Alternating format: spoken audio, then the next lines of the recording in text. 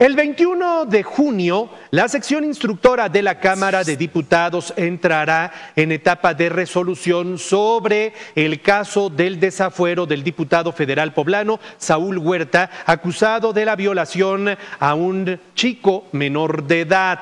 Este jueves, la sección instructora aprobó un acuerdo en el que se dan por recibidas y admitidas las pruebas ofrecidas por las partes. Ahora entregarán el expediente a las partes para que puedan revisarlo y presenten sus alegatos finales. Después vendrá la etapa de resolución. Una vez que proceda a ello, es decir, se le quite el fuero a Saúl Huerta, la Fiscalía de la Ciudad de México procederá a lo suyo y entonces iniciará con el proceso que en principio implicaría la aprehensión de este hombre que ve en pantalla.